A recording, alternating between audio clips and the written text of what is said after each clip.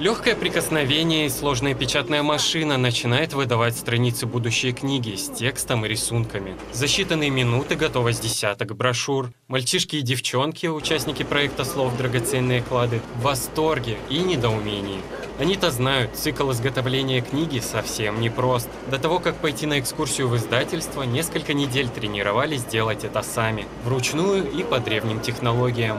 Очень сложно делали, зашивали их, искали кору деревьев или что-нибудь другое. Ну, на солнце ложили, потом получался папирус.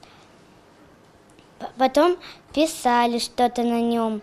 В ходе экскурсии ребятам показали все этапы допечатной подготовки и послепечатной обработки издания. Яркий момент – отправка книги на гильотину. Этот инструмент одномоментно приведет в товарный вид полтора десятка брошюр.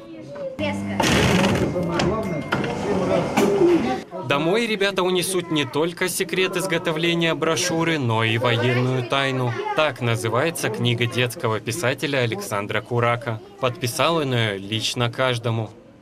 Как зовут девочку? Еще раз? Есть. Военная тайна расскажет о приключениях девочки Даши, которая узнала большой секрет о родном Благовещенске и его достопримечательностях. Это, можно сказать, такой шпионский э, детектив, в котором она приняла самое э, такое непосредственное участие. И, ну а дальше все можно узнать только из книги. Это военная тайна.